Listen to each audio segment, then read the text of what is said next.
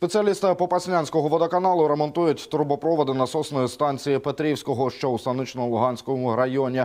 Вона була пошкоджена обстрілами у 2015 році.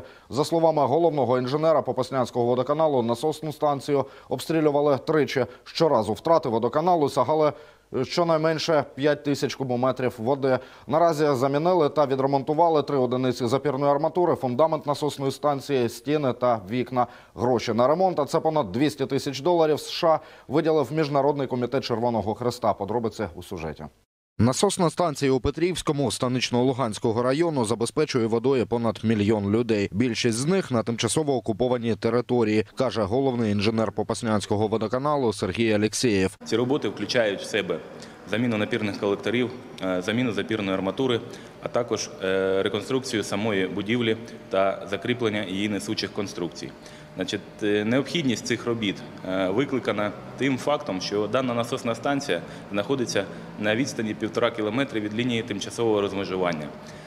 І та неодноразово е, була е, піддавалась обстрілам з боку непідконтрольної території. За словами Сергія Алєксєєва, після кожного обстрілу водоканал зазнав втрат щонайменш на 5 тисяч кубометрів питної води. Дана насосна станція е, здійснює подачу води абонентам селища Нижнє Тепле та селища Артема Станично-Луганського району. Загальна кількість абонентів близько 500. Однак понад 98% води, що видобувається даною насосною станцією, е, перекачується е, на міста та села, що знаходяться на тимчасово окупованій території згідно мінських домовленостей. За словами директора Попаснянського водоканалу Івана Вілкова, через зношеність трубопроводів водопостачання району переривали щонайменше раз на місяць. Знаете, э, при частых остановках даже сложно посчитать статистику. Вот буквально две недели назад э, порвало водовод э, За линией разграничения.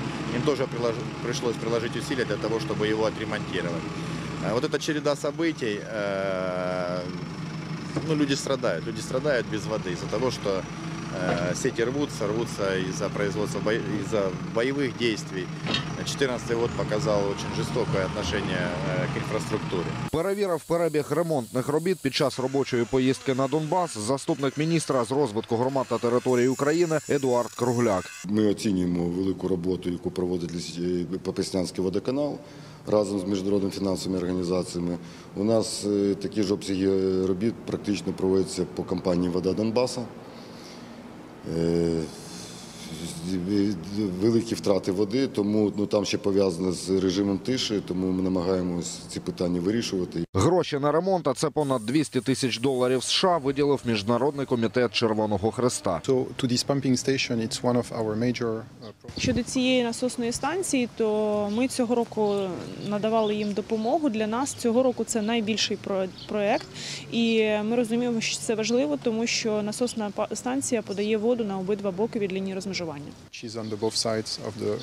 Contact. Подібні проекти Міжнародний комітет Червоного Хреста впроваджує по обидва боки всієї лінії розмежування. Сергій Окішев, Олександр Млеков. Новини на Суспільному.